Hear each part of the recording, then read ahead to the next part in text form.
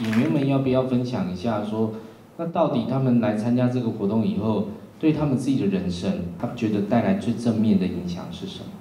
えっと一番なんか喜んでくれてることは私がこの年になっても芝居を続けていることと元気に楽しくやっていることが周りの若い人たちが私もああいうふうになったらこの年私ぐらいの年になってもそういうふうになりたいわって言ってくれることがとても嬉しいです。那我觉得他们今天这样就是可以给我们的团员看到一个榜样或者是一个偶像，好不好？他们这样的表现激励了我。十九年后，加油！日本人可以，我们也可以，赶快点，加油！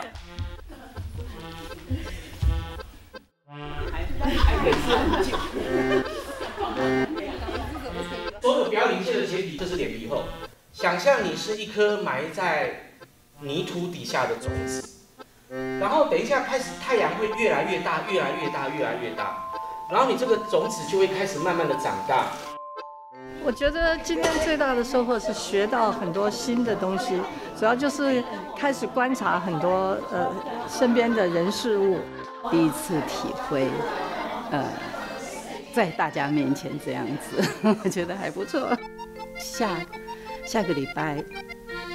华冈就要宣判，你们你们有紧张，A 有紧张，我有觉得，所以你们会发现说，其实要自然并不容易，你会有一些东西不是你的大脑可以控制的。好不好？那都是反射神经在控制的，所以它需要训练。表演要能打动观众，就是要去创造一种真实。我不想再拖累你。他们当然有他们的优点跟缺点啊，比如说他们的优点可能是他们人生经验比较丰富，情感或者是戏剧里面就谈很多的这个人情世故嘛，他们可能比较知道怎么表达。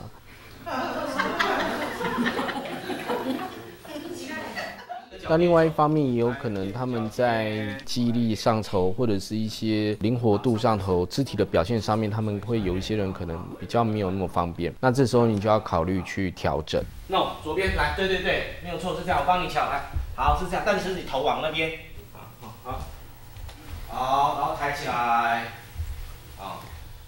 那又因为是乐龄，你就要想，那他们来参加这个的目的是干嘛？他们又不是十八九岁、二十岁，他想说他人生的目标就是要去当演员。对他们来讲，他们来参加这个工作坊，这工作坊就是目的本身。所以我觉得一定要让他们在这个工作坊里面得到成就感。因为我本身对戏剧都很有兴趣，那。啊，我觉得乐龄本来就是不是一个结束，是一个开始，所以就参加这个戏剧游戏。那一方面也有人际关系，那一方面也扩张自己的经验。因为老龄化社会的来临，戏剧活动作为一种建立人际关系，然后它也训练你的记忆力，还有对事情的反应，的确可以减缓一些，包括可能失智症等等或忧郁症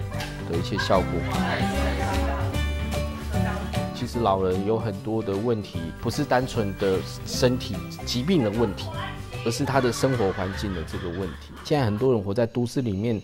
他就是很孤单啊。那戏剧活动的好处就是，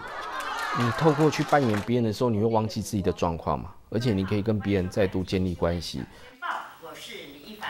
夏天到了，最重要的是，呃，年纪大的人来参加这样的活动，对他们生活品质所造成的改改善。这本身就是一个成就了，嘿，而不是只有那个艺术成就而已。